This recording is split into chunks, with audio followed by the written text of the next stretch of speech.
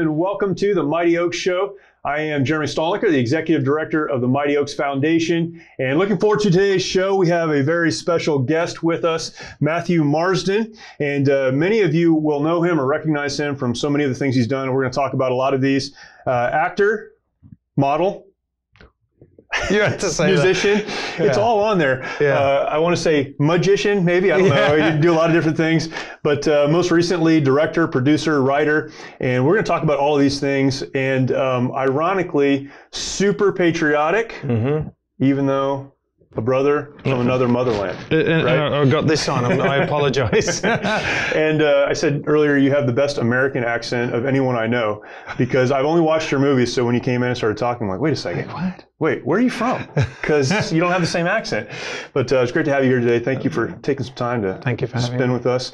And uh, we've been trying to get get you in here for a long time, and schedules did, didn't sync up. So pretty awesome. And uh, we got a lot to talk about. New movie coming out, Mm-hmm. and just a lot of things that we can talk about.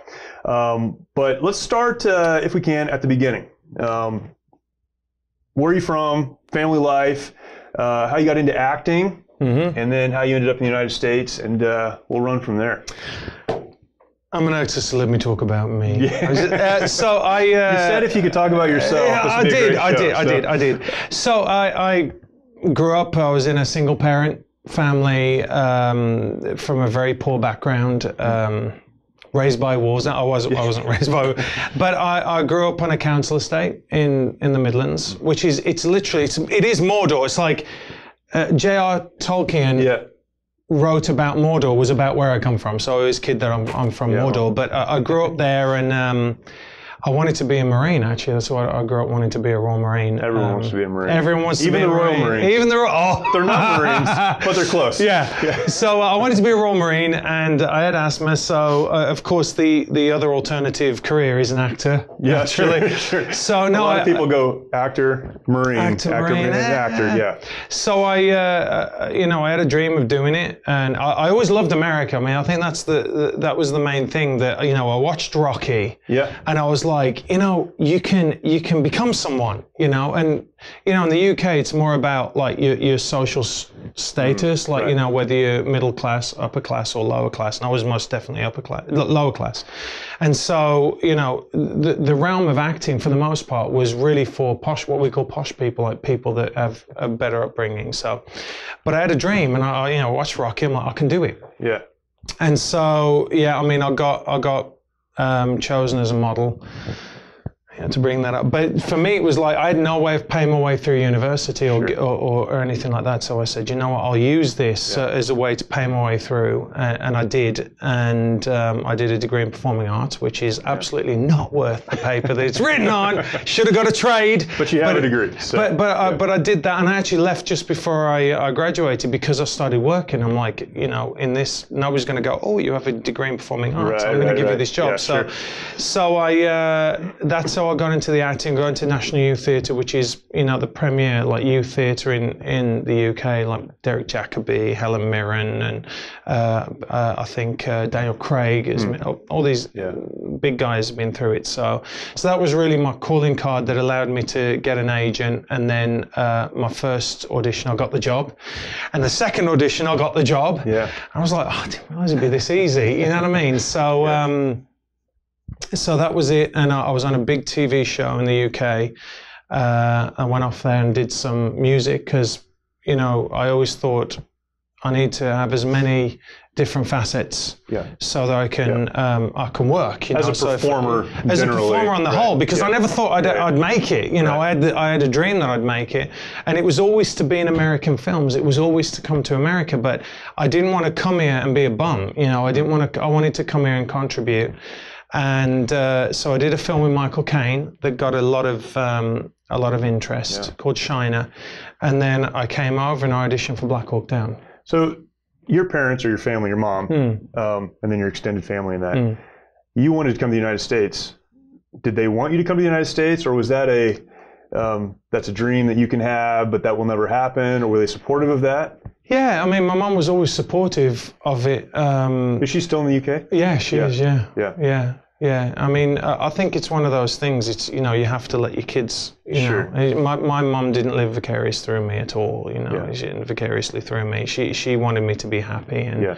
do what I wanted to do. And um, I think there are a lot of people. I- I, I think in in England they have what's called the tall poppy syndrome, where you know, because I always had my dream to be there, to be to, to come to America. It was always the blue chip, kind of like the gold standard. Right, right. Even on vacations, like Disneyland was always the gold Right. standard. Sure, sure. yeah. So uh, uh, you know, I always I always dreamt of being there, and it's kind of that thing where it's it's out there. It's never really going to happen. And then uh, I pursued it. I you know I went in for Black Hawk Down, Yeah. and I got the I got the role, and uh, and that was really a massive turning point Right. in my life. Black Hawk Down is an incredible movie. Um, I'll tell you, I, I'll show you a picture later when we're done. But um, my infantry battalion, I was with the 1st Battalion, 5th Marines, and uh, we were part of the initial invasion into Iraq. Eventually, later on, we would be the battalion that went into Baghdad. So we're in the Battle of Baghdad, and and just an incredible day. And um, I had watched Black Hawk Down probably five times before that. Um, I mean, like sitting in the theater sweating, like like so worked up because of some of the scenes there. And then we did several battle studies and read the books and and did you know, these big sand table exercises based on Black Hawk Down. So I was so familiar with the ski maneuver and who was involved and what was happening and all that. When we went into Baghdad, uh, we ended up in the streets downtown Baghdad. Some of the streets were blocked off with tires and other things. And I remember in the middle of the fight having a thought, this happened in, In in Black Hawk Down. This happened in Somalia. Mm. And those battle studies we had done and watching the movies, it, it, it's, it's crazy how it all just kind of comes together at a point. But um, I fe- I've always felt like I had a personal connection with that movie because of that event and what that meant to me. But man, what an incredible thing to be a part of. Well, it's incredible funny, story to tell. Yeah, and I mean, and and on the flip side, that's what made me have such a connection to the the military here. You know, I mean, uh, we we um, I didn't know anything about the Army Rangers. I didn't know. Uh, I I didn't know anything about. Like most people, they they weren't aware of of that battle. Yeah. And uh, you know, we went over there. And I, th- this is the thing. The thing that that changed my life was we were uh, we were doing um, room clearance because we, we did what they call um, ranger orientation. They were like, "It is not RIP. Do not say it is RIP." I'm like, "The RIP." Okay. And ranger orientation. orientation, yeah. And here's the funny thing about this. Tell you guys about this. It's so funny because I was like, "Okay, we've got the hind tight, right? We're gonna, we, you know, we're gonna get into character." And then they put us in uh, desert fatigues, and everyone else was in greens, right? And we're walking around like, uh, and everyone was like, we were square bashing. Everyone was walking into one another. Like, it was kind of funny. But, but I, I was sitting outside and. I took it really seriously Yeah. like really seriously. And and um, so I asked one of the there was a ranger sitting there, and he must have been like 20 years old. Uh, How old were you at the time? I was like 25, Okay. I think. So what was funny was in the movie, if you watch the movie, the, the, the Ranger guys are all around like 18, 19, the, the guys that played those guys. And and the older guys played the Delta guys were were older, Yeah. you know, 35, 40 years old, like Bill Fichtner and Eric and, and all those guys. And I was right in the middle because I, I was 25, which was more towards the older, but I looked like a, uh, I had a baby face, so they, sure. they stuck me with the younger younger, guys, yeah. which was really interesting. So I was outside and I was talking to this guy, and, and, and I said, "So tell me, why did you, you know, I was being an actor and getting into character. I said, why did you join the army? And he just, he just turned around to me and he said, for freedom. And it was like someone went, boom, just like smacked me in the face. You weren't expecting that answer. I just never heard it. I'd never heard anyone say that. Because in Europe, it's like, oh, Americans, freedom, freedom fries, yeah, you know, and they mock it. Sure. Right? I, I never mocked Which is why they don't have it. Exactly. No, it's absolutely true. They trivialize it, Right. and they don't have it. They don't value it, right? And when, and I looked at this guy, and and you know, when we're, we're actually in the middle of earlier on that day, we'd been doing uh, a couple of exercises, and the, it was the days of the pages, right? And, and the pages went off, and they went, "Oh, we just bombed Iraq." Right, and it was it was uh, one of the bombings over there. They I think they'd uh, taken something out. Anyway, so 9/11 hadn't happened yet. Yeah, sure. And I looked at him and I said, uh, it, it, it was just, just, you know, when you get a moment of clarity, and I went, You'd die for me, wouldn't you? And he just went, Yes, sir. And I'm like, This is the greatest country in the world. These are the greatest, these are the best of us. Hmm. And I, I, I want to just do anything I can around these guys. I want to become a better person. I want to I want to know everything there is about this country where somebody's willing to go and die for me. They don't know me, but they value my freedom enough that they would go and die for me. I just thought that is just just the most mind-blowing thing that I'd ever heard and and and it, I just I was dazed. You know, I just walked away from that and I'm like I have to know everything about this country. I have to know everything about these guys and I will do anything I can for them. And then 9 11 happened Yeah. and it was just like quadrupling down on that. You know, these, I saw these guys going, I'm going to go and fight. I'm going to go and fight. I'm going to go and fight. I'm going to, and, and it, it was just amazing to me. And also, I remember just seeing flags when I flew back in after September the 11th. One of the most incredible things every house, even in the communist state of California, had flags Right. outside their their houses, and I just loved it. Like this, this just embracing of the fact that this is the greatest country on the planet. I, I loved it. Yeah. I just uh, and there's a freedom to that as well. You know what I mean? That must have been lying dormant somewhere, right? I mean, you came to the United States for job opportunity, yeah. not not to be part of a free country or to enjoy that. But then when you saw it contrasted to what you came from or what you had experienced or what you had perceived, um, we actually worked with the Royal Marines and, and some tremendous warriors, and the British military is, is incredible in, in so many ways. Um, but your perception of that and your understanding of that and what you believed about that, um, I mean, where did that come from inside of you? Was it just simply, I've never seen anything like this before? Yeah, I think it's an. I think that's such a it's a brilliant question actually, but but I, think I it's ask brilliant questions. You do, you are often. brilliant. Yeah. you should be an actor. I should be an actor. Yeah, um, I I think it's a number of things. I think it's uh, I've always had an inherent desire for the truth, Yeah. yeah. and, and I think that For the that- truth. Yeah. yeah, to pursue the truth Right. wherever it might lead me, and I think that's really important. Uh, I think when you're a when you're a youngster, you don't really think about you know it's like it's that classic thing when they say you know everyone when they're you know a youngster is more more, more Sure, of a liberal sure, and as sure, they get older they become more conservative. I think that that I was just thinking about my career. I was thinking about where I was going in life. Um, I always wanted to come to America, and this is one of the things that I think is vitally important, and, and we miss in Hollywood. Is I grew up with great American movies. I'm a, I, I grew up with TV shows. I grew up with um, the A Team. Right. You know, Right. and or, or, you know, Rocky. Like I said, Rambo. Yeah. I remember thinking, "Ugh, we're going to win the Cold War. We got Rambo. Go Ram. We got Rambo. And, I, and, and, you know, when you go abroad, as, as you Yeah. know, as a Marine, you travel around and you're like, people love America. They really do. Yeah. It's the ones that I always look and I think that the people that don't love America Yeah. are like the kids around. The, it's like a kid uh, who has all the toys, Yeah. right? And some kids are like, "Hey, I'm going to go into Johnny's house because he'll let me go and play Right. with his his this and that." And then there's a, another group of kids that go, "Johnny has all these toys. I'm going to smash them all when he's not there. I, I don't like Johnny." You know, it's like, well, what do you want? And to me, I, I've always embraced success, and I think it's because. You know, I've never been jealous of anyone's success. I always think, oh, you've done well. Like, wow, that's awesome. I want you to win. And I think that's a very American thing. It's not a very British thing. So uh, I think it's a combination of, of all those. And, and, and in, uh, like I said, I think inside me, I think the framers of the Constitution were just brilliant because they understood uh, the real nature, like human nature, to its both sides of it. You know, the good and the bad. Yeah. And I think for me, it, it just really made sense. Yeah.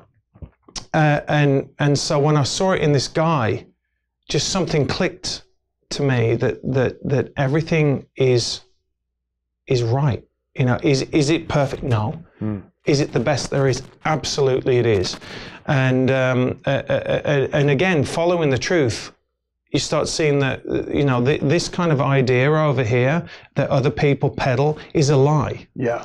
you know uh, uh, so that's why i try and be a little bit more vocal. I don't like actors that are political and everything but but i certainly will defend this country uh, uh, this country is worth dying for. I'd die for this country. I would. I wouldn't i wouldn't die for the uk or anything you. I wouldn't.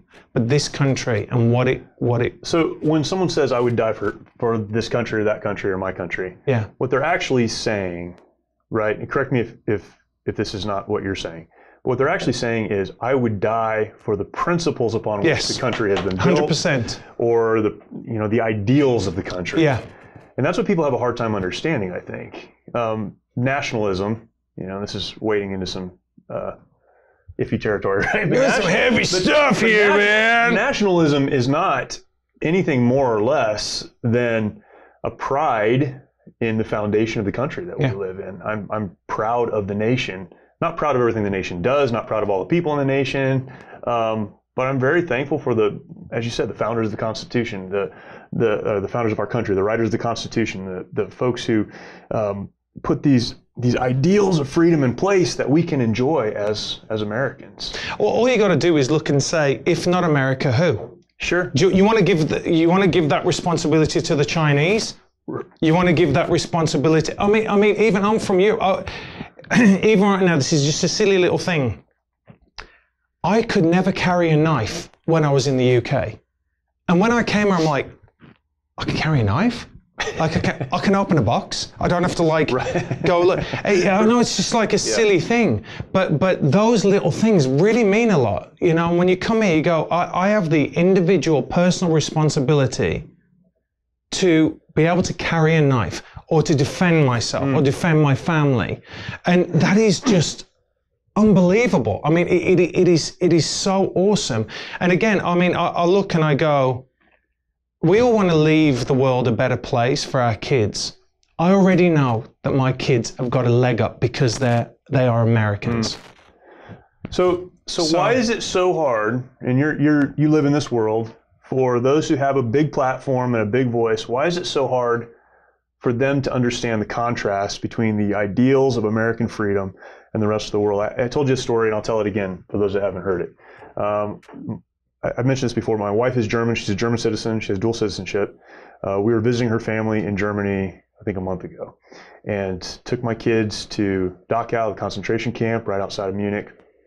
Um, my older kids, you know, they're, they're nearly adults. One is an adult, so they went and, and did the whole thing and saw everything. Spent several hours working through that. I took my 10 year old and my nine year old with me and, and kind of showed them everything there. I wanted them to understand. Uh, Some people are like, why would you take your kids there? Because I want them to understand just how bad the world can be. And we saw the, the memorial or the, the monuments to the American soldiers that liberated Dachau, which is a great thing. It's a very small part of the whole thing, but it's, it's great. Showed that to my kids. We were walking. My nine-year-old, as we were walking, said, "Dad, I, I don't know why I feel this way right now." And he's like, "It's emotional, right? It's it's a feeling. This is just how he feels. I don't know why I feel this way right now, but I'm just really proud to be an American." And eh, you know, that was just him expressing having seen these things and trying to process them and take them in. And, and I said, well, why is that? He said, well, these people were, were being hurt and killed and everything bad that was happening here, and Americans came and helped. Yeah. That's been the story of America historically. And and yet a nine year old can understand that. But supposedly the most intelligent people among us, our politicians, our actors, those who have platforms and can speak, don't understand that. Why why can't they see that? Well, firstly, I wouldn't say the most intelligent of us are our politicians and our actors. To I be honest, supposedly. yeah, So, supposedly. I, I think I think what it is is is again, it's it, when you're talking about a selfless pursuit of the truth, which also means um, changing your life. You know, uh, having uh, be willing enough to say, "I am wrong," and and I have to change my life. the pursuit of the truth may take you to a point where you have to say, "Wow, I haven't been right." At Yeah, this point. a- a- and you got to say that's one of the reasons why I said why, why my movie's called "I Am That Man," because you know I I am that man. I, I can say that I was this person. I'm this person now, and I might be another one. You know, in in, in a few years' time, you know, given different evidence of Yeah. you know whatever stance I have right now, but I think that if you if you do that, it's kind of like if if you feel that the United States is the best hope for the world, which I do. You don't. You, you you just let it be because it, it can. The, the Constitution is such. I mean, anyone that, like you said earlier on, it, a lot of people take it for granted. They don't understand what a gift it is until they go away. And I think this is why, you know, you, you get patriotic individuals who join the military, come back even more patriotic Right, because they go, sure. it's not saying that, like, the UK is a great place. I love it. I, I'm very proud of, of my heritage, where, Mm-hmm. I, you know, where I come from. I'm not ragging on it. It's just that this is better. And, and so I think that it's like anything. Why are you afraid if your way is the right way? Why are you afraid of? It's like this, this clamping down of free speech, right? Mm-hmm. Debate it. Debate it. Debate why America is the greatest place in the world. Let- let's let's have a let's have a discussion about it. You know, so I, I think that, that that is really important. And what you hear a lot with these politicians and with the actors is they want to quiet you. They, they don't want to debate it, right? So it, number one, it becomes it becomes emotional. It's not logical. Uh, and then they want to shut you up. They don't want to debate you. Yeah. Well, well, if your way is so great, then why don't you want to talk about it? And then you look at the places where they have shut people up. Yep. China, North Korea, Venezuela. Oh, that's it. They're all socialist, Mm. communist countries. So, you know, th- there's. I understand a lot of people have emotions that they want to say, we want to look after Sure. this. I, I get that. We Sure. all do. Yeah. And I think a lot of us have the same. Uh, goals we just have different ways of achieving it like you know I- i've been having a discussion with some of my friends back home and they're like well what about this what about that and i and i go look america had this that they had a support system before social security came in before these churches and to get- yeah, and- yeah. And, and it was because existed, you looked yeah. after your own people Right. And and it was it was voluntary instead of you know and we've seen it all throughout history is when you give the government power not to get on a, and I'm not I'm not a political person. I'm not but but this is this is isn't crucial. political, right? It's- no it's, it's- not. it's truth. I- I- it's truth and it's about what this country was founded on. And I remember reading one of the things that that breaks my heart is I remember reading about when Harley Davidson they used to make um, their bikes and then they'd get a keg of beer and they'd open the keg of beer and they'd all have a drink. You can't do that now, right? And there's something, and I said that there's something about America, like you can go and get lost. You, you can go in California, you can go 20 minutes and you can get lost in the wilderness and, and, and die in the wilderness. And there's something about that frontiersman spirit. There's something about that rugged individuality that, that makes America great. Right. You know, it's like, don't tell me what to do, right? I, I, that, that freedom is really amazing. But it's amazing that you get the guys that value that freedom will go and join organizations where they are being told what to do Sure. by others. Sure. You, you know what I'm In saying? the pursuit of that freedom. in the pursuit Yeah. of that freedom, and they understand that, and I think that's exceptional. Yeah. I really do. I think I, I think it's amazing, and and again, like I said, that guy, I you know, it, it has stayed with me for the rest of my life, and it will do. And I, I tell my kids every day, I go, you can go and have ice cream because there are men that are willing to leave their children, men mm-hmm. and women, they're willing to leave their children, so you can have that without the fear of being bombed or, or slaughtered or anything like that. Don't forget it. it. Freedom is not free. Yeah. And, you know, I, I- it, it, I, I don't know why it's so strong in me. I, I'm not, I'm not so sure why. I think it's because I've seen freedoms erode uh, over the, you know, in Europe. Uh, and I see how great America is. And I'm like, if it ain't broke, don't fix it. Th- There, of course, there are things in the past that have happened, uh, and it's like anything, right? I mean, you, know, you, but but it's it's been corrected. That's why there are amendments. It's like it's it, it's got its way of figuring it out. And and I hate to say it, but like if you think that way is so good, There are places you can go. and do free to go. Yeah, sure. You're free to go because there's enough people that want to come here for it to be Right. exactly the way it we, is. We've talked even on this show about um, socialism in the context of compassion, and you know, socialism is is kind of billed as a compassionate, you know, way to to live and to govern. Um, but compassion is not weakening yourself to the point that you can't help someone else. No. The strong can help the weak. That's how it works. And again, you don't have to acknowledge that, but that's how it works. And so, as Americans, if we maintain a posture of strength economically and in all of the other ways that we would talk about democratically, um, we're then able to continue to be the most generous people in the world, Yeah. to go to places around the world that are being oppressed and provide aid and help and assistance. We can do that, but we can't do that if we weaken our posture to a place where, um, you know, we're not in that position. Well, we've seen what happens when that when that happens. Yeah. You know, when, when America steps back, Yeah. it, it, becomes being cast. And look, again, I, I didn't understand that, you know, because when I'm, when you're in that little bubble, when you're a kid and and you're out there, you're like, oh, I want to achieve this, I want Yeah, to yeah. achieve that, and you're not thinking about, you know, like when you have kids, you're like, oh, this is the most important thing. Mm. How am I going to create a world that is that, that is better for this child and and all of a sudden you stop thinking about your own selfishness Yeah. and start thinking about someone else and and I think that you know the other side of that is people who have faith are more uh, m- more predisposed to think like that Yeah. How has You know what I faith mean? impacted your? massively Yeah. yeah In what ways? well um, I know actors aren't supposed to talk about faith. No, no, know I, I don't mind. I mean, listen, I I have seven kids. I think I, Yeah. I'm outed You have to talk already. no, I'm out. It's like what? Catholic or Mormon? Catholic or Mormon? Catholic. Uh, uh, hugely. I mean, you know, when I I think they that it goes hand in hand. I think that's why. with freedom. Yeah, Yeah. it really does. Uh, um, and understand that's when people go, Jesus is a socialist. No, he's, no, he isn't. Right.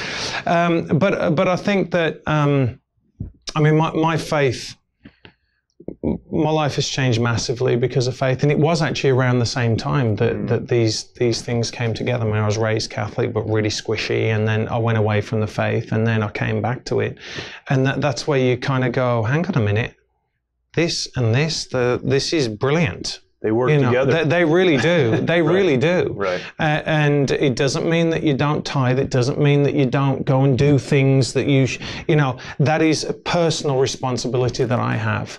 Uh, and that's another thing that I love, you know, that, that you can be a part of a church, but also you have your own personal responsibility to sure. do what you, you know, you should. And that's why I love, I mean, and again, going back and reading about the history of the country, because I always used to have, you guys find this funny, right? My buddies will go, hey, Matt, it's the 4th of July. and I'd be like, they'd be like, because no, they don't teach you in the UK about right. the revolution. They don't. And I'm Well, like, it, it wasn't a win for. Uh, no, it- there- there's a lot of those. So it's funny because like I'm like, yeah, like barbecue, like it's, and then when you realize, like when I read, I started reading. I'm like, I need to know what this is all about. I, I, I've got, I've got to figure this out now. I'm staying in America. I've got to go back to the beginning. Why? Why did they fight? Oh, okay. Well, I'd be on that side, not on that side, right? Yeah, that was not right. Oh, that's why there's a Second Amendment. Right. That's why. Oh, the First Amendment. No one else has a right. enshrined in their constitution, the First Amendment. So your freedom is it, it's it's a right. It's a right. What- Didn't even have that in England. One of the things that's so fascinating to me about the American Revolution is that most of the leaders of the revolution considered themselves very British and loyal to the crown. yeah, They, they didn't want to leave Great Britain. They just wanted to be left alone. yeah. That's all they wanted. Well, they took the essence of the Magna Carta Right. and they said, "Look, this is the way it should be." It was it was England that were like kind of Yeah. undoing their own. Which is Yeah, why the- we drink coffee and not tea. That's the reason. And you know what? I got coffee in there. It's funny because I always used to eat. I always used to drink tea, and Yeah. now I only drink coffee. Yeah, but but no, it's true. I mean, and you look at what I think it's impossible to look at what happened, even like when when the America, the colonialists Yeah. went into New York. Like, like that, if they would, if the British would have stayed, it would have been a slaughter. It would have been all over, right? And you look at the, the history of the country, and you go, it is impossible, in my opinion, not to look and say that this country is blessed by God.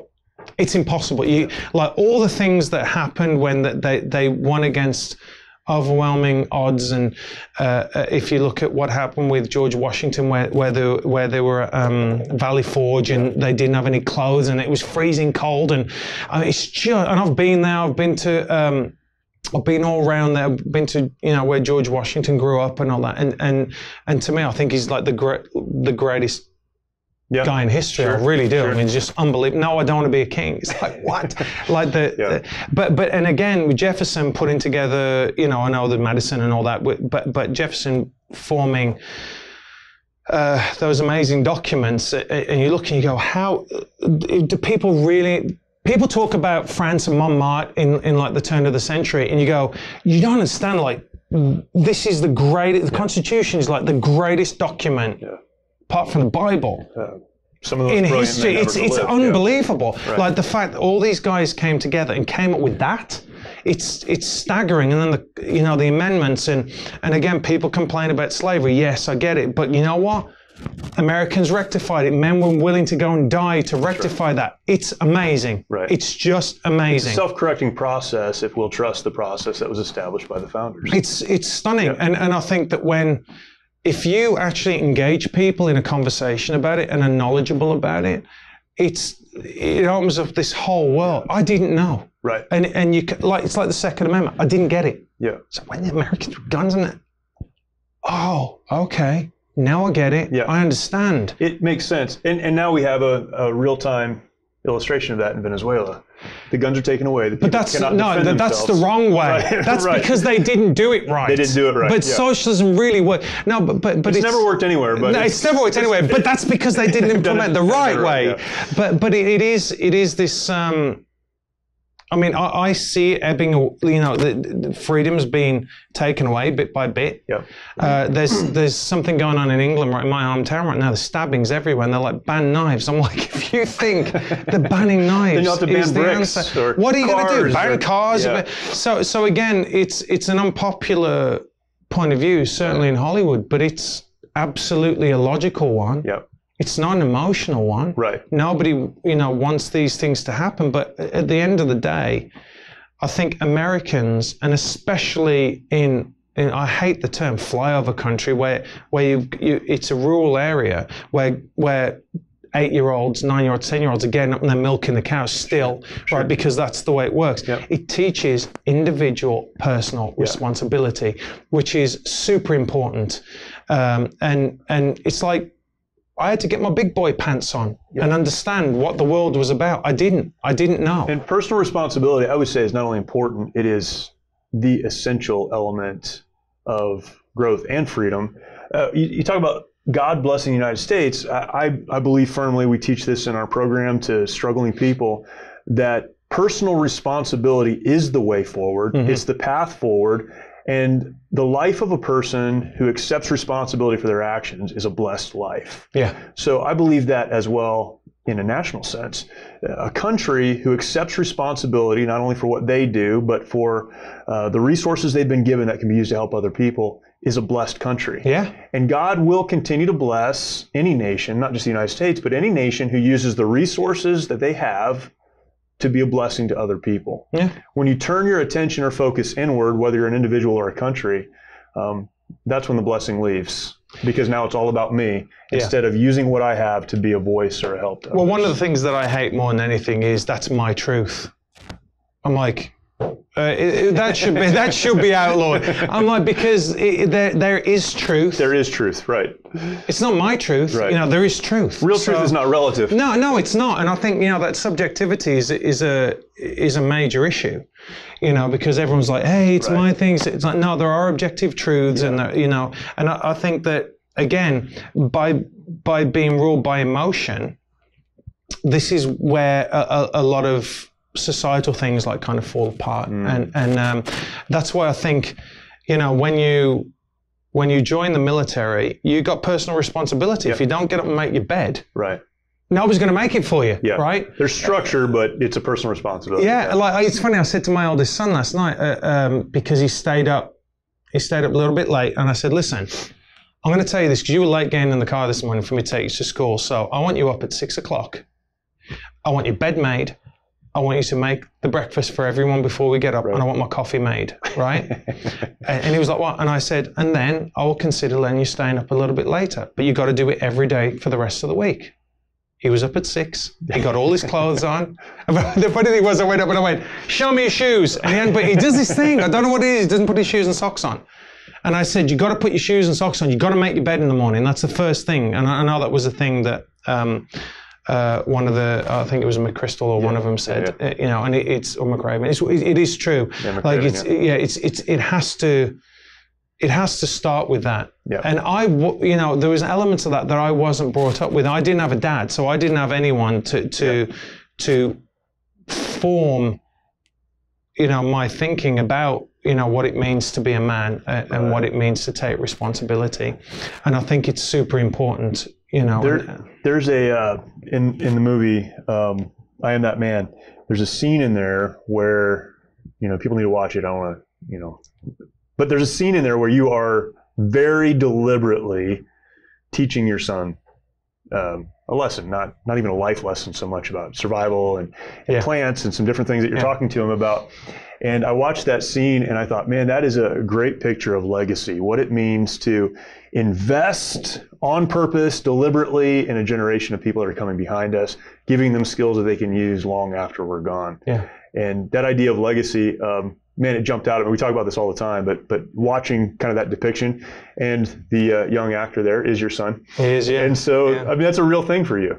Is that idea of leaving something behind that's important? Yeah, it is, and and you know, I mean, what's what's difficult for me, for a degree, to a degree, should I say, is that I never had anyone to show me how to do it. Yeah. So I'm kind of learning on the job as a dad, uh, and I always think like I feel sorry for my son in a way because he's the first, you know, he's, he's the one that, that, that he's getting all that, Sure. the, the kind of learning. And he'll blame job. you for all his Oh, he will, he will, on. he will. But um, but yeah, I mean, I, I think that that is a it's really important. You know, Yeah. it's really important to. I know it sounds silly, but you ask most kids, they don't know how to change a plug. They don't know how to, Mm-hmm. you know, use a use a saw or do this or you know protect themselves or understand. Like have again, it's that personal responsibility. Is like giving it over to even who they do a great job is the police, right? But you know, the police protect me. No, they turn up afterwards. Right. They turn up after the crimes happen. So, so I think that in I Am That Man, I wanted to show how vitally important a parent's relationship is with their child. Um, both ways, you know, it, it works both ways, and there is a legacy that you get to to teach your, your children, um, and you teach them, you know, uh, this the scene. It's not you you can talk about that. The scene is like he, he he's taught him how to survive. Yeah. He wants to tell him, you know, which way is north, south, east, and west, and and um, and to understand that. And again, it's something that I never had, and, and my son does because he uh, he goes to scouts, Right. you know, and and he you know he's learning knots and this, which is really really important. Yeah. And and again, I think it's you know it, you're not going to get lost in the wilderness in the UK. It's not going to happen, Right. right. It really isn't. But you can five minutes away from here. it so happens, yeah. and it happens all the time. So you know that that uh, you know that installing of personal responsibility as a father, and and I always tell him, I'm like I don't. And by the way, when I make a mistake, I say to my son, I apologize. Yeah. I'm sorry. I made a mistake Yeah. will you, will you forgive me for that? good. You know, and and it's not like, and I always tell him, I'm like, hey, listen, and this is, I think, parenting 101. I am not your friend. That's good. I am Yeah, not your right. friend. I am your father. You'll have a load of friends. I am your dad. And I have a goal. yeah, And that exactly. goal is to teach you to be a man. And by the way, Yeah. you will obey me. This isn't a debate. and my, my friends have this great thing. I mean, I've got like, like I got seven kids. Like, you don't get to get to like reason with them. I see people go, "Oh, sweetie." No, I'm like, "Hey, listen, just do this because Yeah. I've got to deal with the other." Oh, he's just put his he put a knife in the socket. He's running into the road. She's up there climbing. What are you doing up there? You know, and, and it's you know, it really is. And I think, by the way, you have four kids yeah. having if you look back it's only like this generation really maybe the last generation that had one or two children like Right. before it was bigger families. And and and that you got to fend for yourself you know? It's like if you ain't going to eat that then the brother's got it's like yeah, that's it. It's gone. And and, and uh, like i love that aspect as well of, of american life. And I, I love the ranches and and and horses and and the uh, uh, all that i think it's just incredible it's you can still be a real what is this like a real man Sure. a- and a real family and there's n- there's nothing wrong with sending your kids out to go and pick you know uh, pick fruit Yeah. Learn how to do something. yeah learn how to do care of yourself. something yeah work Yeah. hard I, uh, I I'll say this in in the movie. We need to talk more about the movie because we could talk about America forever. yeah I think. But i could i um, certainly yeah, could and I yeah sure I could too. I, um, you know, the work that we do is a work that is a work of love for those who have served our country, and Yeah. we're thankful to be able to do it.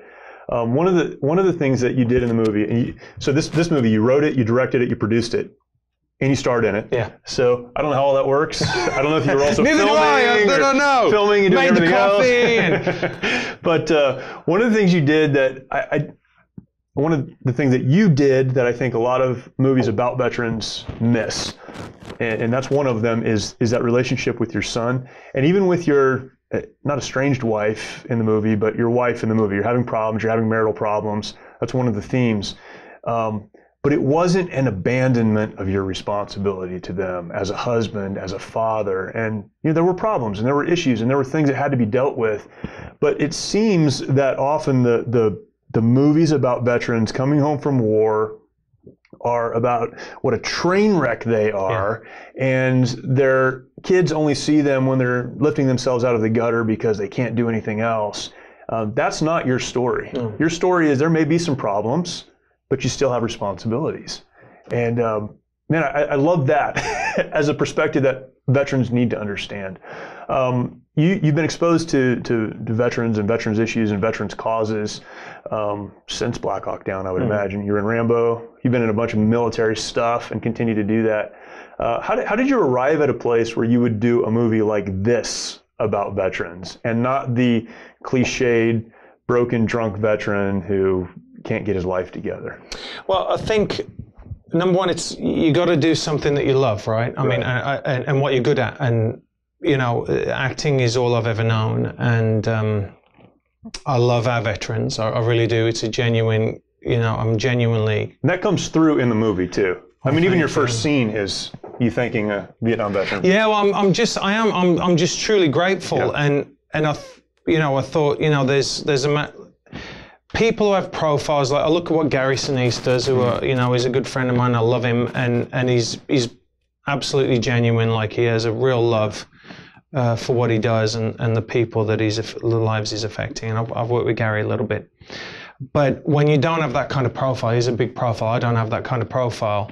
Um, I looked and I said, well, how can I help veterans um, in a in a bigger way, in a in a bigger way than myself, right? So movies very often they affected me. So I'm like, well, how can I? It's a, like a force multiplier, right? So I, I can come here and do this with you, um, and it's going to get out to a lot of people. If I do a movie and I get it out to all the bases and everything, then then it's it's getting a wider audience, and people might go, oh.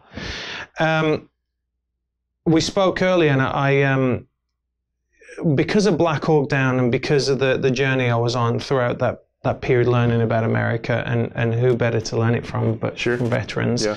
You know, I'd sit and talk with them and, and they would open up a lot to me and, and, and more I think than than sometimes they would to their brothers because I was like safe because I wasn't part of the Yeah. team. I was Sure. kind of like in, in I was like kind of in the circle of trust, right? But not fully in the circle of trust. So I, I'd listen to them and it would really pain me Yeah. uh, because you know I'd have I'd have guys who'd be like, "Why did you join? Why did you join the Special Forces?" Because I saw the Green Beret with, Green Berets with John uh, John Wayne. Yeah. Or why did you become a Ranger? I watched Black Hawk Down, dude. I watched Black Hawk Down. Why did you you know? And you see this, you see the the, influ- the, the influence that the media and Hollywood really has, and uh, and then we went through a period of just negativity and and you know not necessarily that the, the the actual military was bad, but like you said, they'd come back and people would be crazy. They'd be like, ah, you know, drinking all the time, taking right, drugs, and uh, and and that wasn't my experience with the majority of people that I, I met. Of course, there were cases where, you know, people come back and have a little bit more trouble. Sure. People do struggle. Th- They do. sure. They Yeah. do. Uh, and I thought, you know what? This needs to be the, the, the, a story of a guy coming back that I know needs to be told. And I got told, by the way, I sent the script around and people were like, oh, I want this part. I want it. Why don't you go crazy at the end and kill everyone? Like, you're missing the point. And the, the, the funny thing is, is I knew that by making this movie, that I couldn't trust, like, uh, when we did Black Hawk Down, there were a few people that went out and they badmouthed the Rangers. And I'm like, there's no way that's happening with me. I, so I'm like, oh, okay, I've got to play the role because I know Yeah. uh, it wasn't an Yeah, ego thing at all. It was like if Control the story. control the story. So some guy isn't coming out and going, yeah, I played that role, but they're all kind of Yeah, right, So right, so I'm like, okay, well, I'll play the role, so then I can go and talk to other people. Maybe I can open the door that that someone who might be thinking of doing something Yep. changes his mind because for whatever reason. So, so um, I wrote the script. I then sent it to a bunch of friends of mine hmm.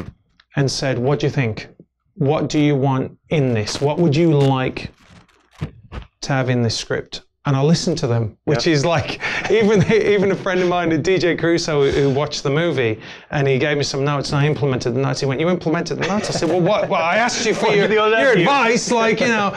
Um, so, for example, the opioids. Uh, I spoke to a friend of mine. He's like, "I really like to tackle an opioid, the opioid problem," and none of these things are popular. Uh, certainly not in a for distribution in Hollywood. Like they they don't want to see people like win. They, they they want it to like say they want it to be a train wreck, and I'm like it's it's not that way. You know, if you have a, a, a, a someone who's in the military coming home. And he knows he's going to be deployed again. He's got to be on his game Yeah. right? So if he's got to be on his game and he knows that he's got to be at the top physically, Yeah. so he might be spending more time out at the gym, at the range, doing this, doing that. That takes away from family life. Mm. But he's not doing it to be away from his family. right. He's doing it because he wants to come back to his family Sure. because he wants to be here. How does that impact? Is he sometimes, you know, and from the family side of things, just trying to have a look, you know, maybe you're not listening a little bit because, you know, and it's understandable, you're a little bit more driven. So, you know, I also had a guy, you know, the, the reaction to the film has been really amazing because, you know, there's a scene where they're talking about music. And, uh, and, and one guy came up to me and he said, my son never got to know what music I like because I was pretty much deployed the whole time. Right. And um, it's these little things that civilians don't understand, they don't get. So I decided I want to make a movie for veterans that will resonate with veterans, that they might just be able to say if they're going through a bad time, watch this and just just see a little bit more of my point of view. To give hope. You know what I mean? Yeah. And, it, and it is hopeful. It is really hopeful because, you know, guys that, I see guys and girls that don't quit anything in their lives professionally will sometimes quit that because it's too much of a jumble. There is a way through, Yeah. you know, and certainly, you know, I've I've seen it, and I just wanted to to, as well for for people that come back to say, it's okay. Yeah. You know, it's okay feeling this way. It's okay having these issues. Yeah. We can work it through. Don't be ashamed of it. You, you know, you, you're going to be in the same way that, you know, in my silly little way, in my little mm. journey, you know, I went from being a certain kind of person and, and hopefully I, grew and I hope to continue growing. I'm by no means, you know, a, a perfect dad or a perfect person. It's a lifelong process. it, it, sure, it is, yeah. but but a lot of people don't like. They kind of beat themselves up about it, and just to, just to Yeah. say, I am that man or I am that woman. Right, I was there. I'm here. I don't know where I'm going to be, but that's all right. Yeah. You know, you, you can you can live in that, and I, I wanted to do that with the movie in a kind of entertaining Yeah, sure. package. Yeah. You know, and, and it's funny because I'll show it to some civilians, and they will never get what veterans get out of it. Right. And I'm like, that's kind of Right. cool, actually. I didn't make it for you. Right. You know, I didn't make it so good. the guy could go crazy at the end and shoot Yeah, the yeah, place yeah, up like Rambo. You know, not dissing, not is my guy, but I did save his life in Rambo sure, form. Just, sure. but you know what I'm saying. So, th- Go but, watch but, it. but that was the the point of it, and I, it was a roll of the dice because I knew that doing it a different way would get it sold more. You know what I mean? Right. To, A more commercial value. because it, because right. yeah what what people don't understand is you have to get like for example having me play the lead role is not going to get a big as big a um, release as it is if it was Brad Pitt or you know one of these other guys but you know me and my business partner we just said look who, who actually her husband is a marine Oh yeah. um, you know, we said, no, this is what we're going to do because th- it's more important that we're going to hopefully save lives or marriages or whatever than any amount of money that's going to come I in. find it fascinating. I, I mentioned this to you a little bit that most movies that you'd think would appeal to veterans have nothing to do with veterans, and most veterans don't want to watch them. Yeah. right. It's crazy. All these these you know this is the veteran coming home movie. Who's that written for? Because Yeah, it wasn't written for the veterans. Well, do you know what happens? I have a, um, I've had many conversations with this with writers, and because what happens is writers don't go out and speak to veterans. right. What they do is they watch a movie and they watch a TV show Yeah. and they go, "That's the way it is," Yeah. and then they write it. You're like, "Well." That isn't the way it is. Right. So now you've rewritten this or written this piece, and it's even less like what it's like. What? Is, so here's again. I'm, I'm giving away too much of the movie. Watch the movie. I don't mind. You, Watch the you can give little, One little of the things that I expected, so I watched it yesterday. I every there were like several points where I expected this to happen and it didn't happen, and I got to the end of it. I'm like, I'm really happy that didn't happen. was the flashback scene? Yeah. Every movie about every veteran since Apocalypse Now or whatever has had this massive flashback scene, right? You didn't have a flashback No. scene. You know why? Because most people don't experience real flashbacks. No, they don't. I mean, it happens, but it happens rarely, even in the clinical uh, clinical world. Um, that's a very specific, very narrow, very small group of people who would have experienced real flashbacks where they find themselves in that spot. And he didn't do that. It was a story about a guy transitioning out of the military, trying to find his way. He's moving forward. Right. I I mean, and that's the. And that's, what most guys can resonate. yeah, with. Yeah, it does. I mean, people just want to just get on with their lives, and, and there might be obstacles that come, Yeah. but uh, uh, you know, I think what a lot of people do is they want to go back and show the reasoning, and it's this really Yeah. heavy thing. Yeah. Sometimes it's not. You know, I mean, I, I was. Sometimes it's not. You know, Yeah. sometimes people Yeah, are like, okay, right. well, I went and I did that, and I'm moving forward now. Yeah. But you know, they might say, I miss the brotherhood, Yeah. which he says. So brotherhood was a huge theme in, in Yeah. this. Where where did that come from for you? I mean, there were several points where you you made that very clear, like the brotherhood's super Well, important. it's because I'm dead jealous of it because Yeah. I don't have that, and I think it's a real amazing thing that you guys have that most people don't have. And, you know, and, and, and you know, I, I- I see it, and I just think it's the greatest thing. You know, I went to uh, we went and we showed it at um, Fort Bragg, and a friend of mine got in the car, Matt James, and he's a. he had a TBI. He got hit by hmm. a, a, an IED. I mean, if you look at his Humvee, it's like I don't know how you survived. And he's an amazing, amazing person. And we went, we went out for a drive. I think we went for breakfast, and we get in the car, and there was a guy in the front, and he was a, he was a Lyft driver, and they started talking, and he was airborne as well, and it was like they'd been friends uh, Sure, forever. sure, yeah. And I'm just, I'm, I was actually welling up because I'm like, this is something that I guess years ago we used to have in our small communities. And at the end of it, I went, hey, do you want to come? Do you want to Hmm. come to the movie? And he was like, yes, sir. And I'm like, again, I'm like, you called me sir. Like, this is so humbling. Right. And so he turns up yeah. to the movie, Yeah. and he's got brings his wife, and and Matt James said you can, and he, we, before anyway he gets out the car, they hug it, and the guy goes, "Can I have a hug?" And it sounds like lame, but he he gets out and he hugs yeah, him, yeah. and he and and he went. Most people don't know about stuff like this. I went, that is the greatest thing. That is the greatest thing. And after the film, he came up to me and he said, when you come back to North Carolina, you stay with us. We've got a bedroom. You got to, you know, Right, I'm not right. staying in a hotel. And it's just this this incredible community. And I just I wish that everyone could experience it. I wish everyone could see. It's like I say, it's not all great. It's not. It's not. Everything isn't always yeah. fantastic. Yeah. But from what I've seen, the, that brotherhood is is unbelievable. And I wanted to make that clear in the movie. I'm glad that it resonated with you because I think that that most people don't understand. And, and, and again, it's that thing where you come out and you're like, who's got my six? Like, you know, that, that guy's, he didn't care. And, Yeah. and what, you know, when you're part of a unit, you know, part of a team, you know, you know you guys have got you. Even if you don't like each other, even if that guy annoys you, Yeah, yeah. you know, he, he's got your back. At the end of the day, yeah, there's a Yeah, brotherhood and, there. and I see that. I see that all the time, and it's uh, you know, as as someone who has come, like I come from a, a foreign country, come to America. I have my family. I have no family. I have no family here apart from my own family. and it's it's kind of isolating. I look around and I see, you know, the Marine family, the Army family, Yeah. the Navy family. The my buddy who's, who's a West Point grad, you know, he's he's oh got the I can call him up. He's a West Point. Don't worry, it's just Yeah. amazing.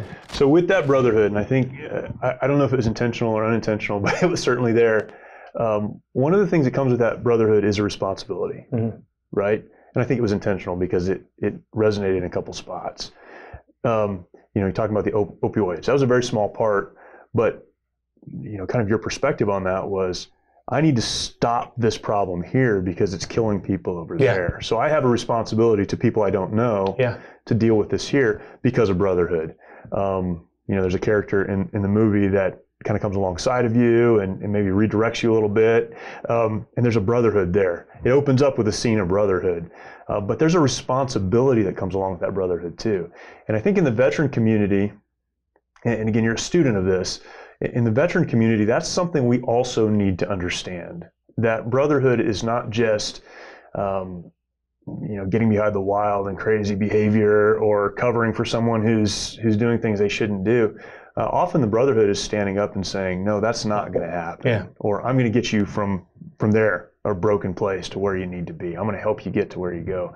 And uh, man, that's that's huge. It's powerful if you use that It's- brotherhood to help other people. It's the greatest love for another man that you can have, right? I mean, it, nobody wants to go and confront someone when Right. they're doing something Right. bad, but But that's real love. It, it, it really is. I mean, it, it's it's doing the uncomfortable things. It's like, like I said, the pursuit of truth. Yeah. It's really uncomfortable. yeah, yeah, You know, because if you don't know it, you might have been living your life a certain way or doing things a certain way, and and and then you go, oh man, that's wrong. Yeah. Like I've been misgu But again, you can say I didn't know any better. sure. Uh, I'm moving forward, or I knew better. I just wasn't strong enough. It's all okay. What what matters is how you move forward. And and again, yeah, no, I mean it, it was very intentional, and and part of that is, you know, when you see that that particular scene, it's like that ranger was going to die for me. hmm hmm He didn't know I was. Yeah, There's there's hundreds of people that hate what he stands for. He's still going to die for them yeah,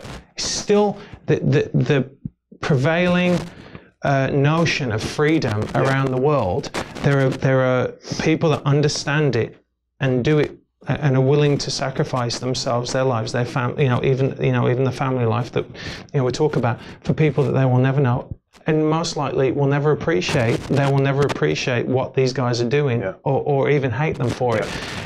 That's awesome. yeah. All right. I mean, it willing to do really is. It really is amazing, and and you just got to get outside of your own head. Yeah. And this is why I'm trying to talk to people back home in the UK to just look a little bit bigger.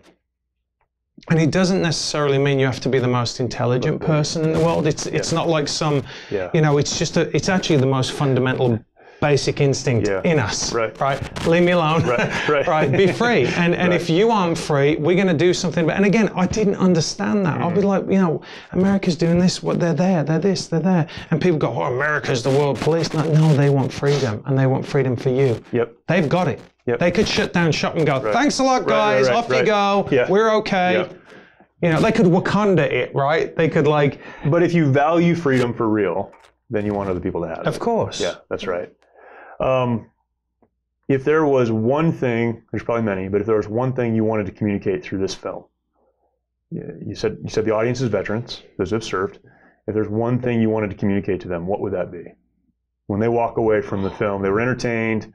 You know, they they like some of the characters. Um, when they wake up in the middle of the night thinking about that movie they just watched, what do you want them to be thinking about?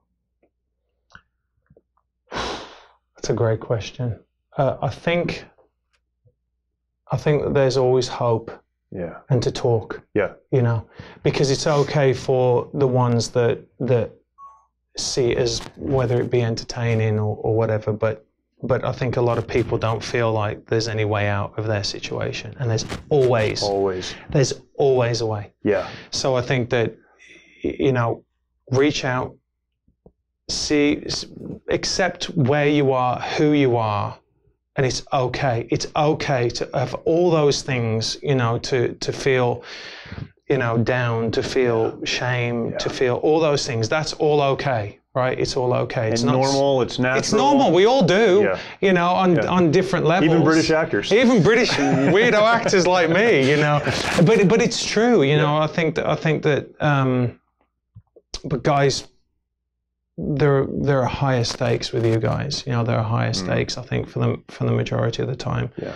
Uh, our things are like, oh, I feel re- really bad because I, I had soy in my coffee this morning. you know, it's not like, hey, you know, I lost a brother Yeah. you know uh, but it, it- it's it's to be okay with who you are hmm okay to feel all those things uh, and to talk to somebody because you'd be surprised you know he feels the same he feels the same she feels the same she feels the, Yeah. you know and, and just to talk about it. it it seems really squishy in that but but it's it's really true i think it's, it's absolutely true. There is Yeah. always hope. yeah, if my if my movie can can help one person i would have achieved my objective on it That's awesome. So your life is bigger than a movie, um, bigger than your acting career. If your life could communicate one thing to your seven kids, to your wife, to people who are watching from the outside, if you couldn't make another movie but your life communicated, what do you want your life to communicate to people? You said a lot of things that are really important today. Um, maybe we'll just show this at the end of your life. Yeah, we'll well, show this uh, episode where you talk about some really important stuff. But what do you want your life to communicate? Because obviously you're driven by more than just money and fame and you know all that, and you know you have that. But clearly that's not the only thing that's driving no. you. No, it's not. Um, I think that there are. You have to search in life for what really, what, what is your purpose in life, Yeah. and there is a purpose that we all have, Yeah, and and it is a bigger purpose than you, uh, and um, yeah, I want to I want to leave the world a better place for my kids and for the rest of, Yeah. of society. yeah, And uh, I, look, I mean, my own personal thing is by knowing and loving God. Mm. I think that is the the, not to be too. yeah. No, I, I, I think it agree with is, you. is, Yeah, is, I our, you. our our to be perfect to our design as human beings is to know and to love God, and uh, I'm a broken, flawed individual that's trying my best to do that, and uh, and I again I accept all the all the things about me that are imperfect, and there are a lot of them, Hmm. but uh, I'm striving to be the best man that I can be. Yeah, that's Yeah. awesome. And leaving that pattern for your kids. That's incredible. Hopefully. Man, thanks, man. We've had a great conversation. I really appreciate it. Well, thank you for having me. Um, people need to watch the movie I Am That Man, and uh, distri- distribution will continue to grow, um, of course. Uh, but where can people follow you? And that's probably the best way to keep in touch and informed Um, on what's going on. on Twitter, on Twitter, I'm like at Matthew. I'm not very good at this stuff because I hate it. I'd rather not do any. But uh, Matthew D Marsden is my Twitter. Matthew D. I. Marsden. Matthew D Marsden, and my, my website's matthewmarsden.com. Uh, yeah, I That's, that's in Facebook. I'll go Facebook page Matthew Marsden, Yeah. and um, and uh, I am that man movie is the the other one. Okay. But we'll, we'll I'll I'll get you. awesome. We'll get all that, and we'll uh, we'll include it with the show. And uh, man, it's awesome. Hopefully, we can get you back. Do it again. I'd love it. Thank right. you. Thank you for having me. So for everyone that's watching, thank you for watching. Tremendous discussion, and uh, appreciate you watching on YouTube. If you're not watching on YouTube, maybe you're listening um, on Mojo 50 or somewhere else. Um, go to our YouTube page, check us out. You can subscribe there. That's really important. But beyond subscribing, hit that bell, and that will notify you when new episodes come online. Every Friday at 10 a.m. Uh, Pacific time, we have an episode come online. If you're listening on Mojo Radio, that is Saturday mornings at 7 Pacific Standard Time. And uh, anywhere you can get your podcast, you can listen to this as well. So thank you for listening. We'll see you next time.